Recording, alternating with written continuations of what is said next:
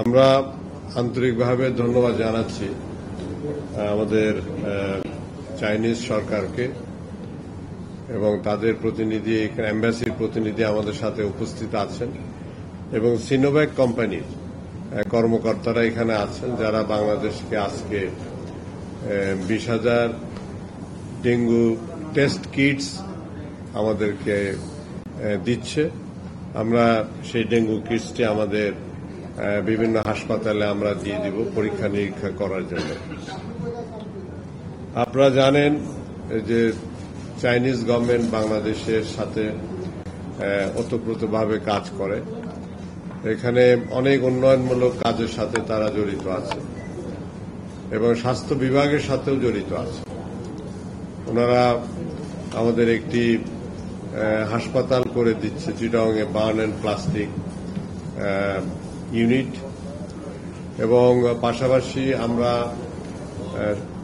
করোনার সময় আমরা যে ভ্যাকসিন পেয়েছিলাম, সেটা চায়না থেকে আমরা পেয়েছিলাম এবং সিনোভ্যাক কোম্পানির মাধ্যমে আমরা বেশ কিছু ভ্যাকসিন আমরা ক্রয় করেছিলাম এবং সেটা ডাব্লিউএইচওর মাধ্যমে।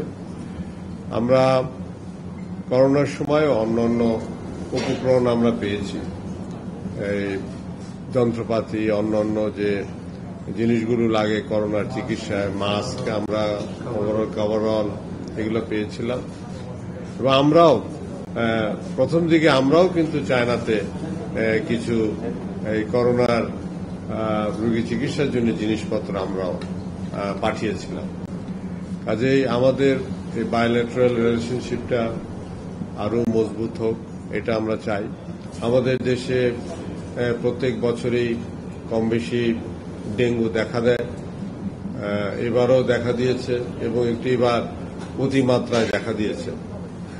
আমরা আমরা দেখেছিলাম যে দুই হাজার উনিশ সালে বেশ ডেঙ্গু দেখা দিয়েছিল। মাঝখানে একটু কম ছিল। গত বছরে একটু বাড়তি ছিল এবছর তো অনেক বেশি বেড়ে গেছে। আপনারা জানেন, আমরা চিকিৎসা দেওয়ার কোনো ঘাটতি রাখিনি। আমাদের হাসপাতালের বেড তৈরি করা হয়েছে। আমাদের হাসপাতালে পরীক্ষা করার ব্যবস্থা আছে। প্রত্যেকটি হাসপাতালেই পরীক্ষা করার ব্যবস্থা আছে। সেখানে কিটসের কোনো অভাব নাই। আমাদের বন্ধু রাষ্ট্র কিট দিচ্ছে বলে আমরা নিচ্ছি, বাট আমাদের বর্তমানে কোনো কিটসের সংকট নাই। এবং আমাদের চিকিৎসা দেওয়ার জন্য যে মেইন সেলাইনেরও কোনো সংকট সরকারি হাসপাতালে নাই।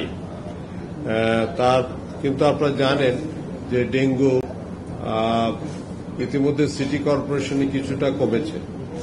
আমরা দেখেছি কিন্তু অন্যান্য জেলায় অনেক বেড়েছে। আগে যা ছিল প্রায় দ্বিগুণের কাছাকাছি পৌঁছে গেছে। এই সবগুলো জেলাই বাড়তি এবং প্রত্যেক জেলায় পরীক্ষা করে দেখা গেছে ডেঙ্গুর লার্ভা পাওয়া যাচ্ছে। বিভিন্ন জায়গায়। এবং রুগী যারা হয়েছে, বেশিরভাগই ঢাকা থেকে যারা গেছে তারা আক্রান্ত হয়ে অন্যান্য জেলায় গেছে, বাড়িতে গেছে সেখানে আবারও সেই মশার কামড়ে সেটা ছড়িয়েছে। মশা যে পর্যন্ত না কমবে, সে পর্যন্ত ডেঙ্গু রোগী কমবে না এবং মৃত্যুও কমবে না। এই কমাতে হলে পরে আমরা সকলে মিলে আমাদেরকে কাজ করতে হবে, আমরা সেই চেষ্টাই করছি। আমরা লক্ষ্য করেছি যে ডেঙ্গুটা বেশিরভাগই যেগুলো বড় বড় বিল্ডিং এর নিচে আশেপাশের ড্রেনে, নালাতে এবং পরিত্যক্ত বিভিন্ন পাত্রে এগুলো জমা হয়ে আছে। এবং বেশিরভাগ দেখা গেছে ফুলের টবে আছে। এই সমস্ত জায়গাগুলো পরিষ্কার হওয়া দরকার এবং যেগুলো পরিত্যক্ত পাত্র আছে সেগুলোকেও পরিষ্কার করা দরকার।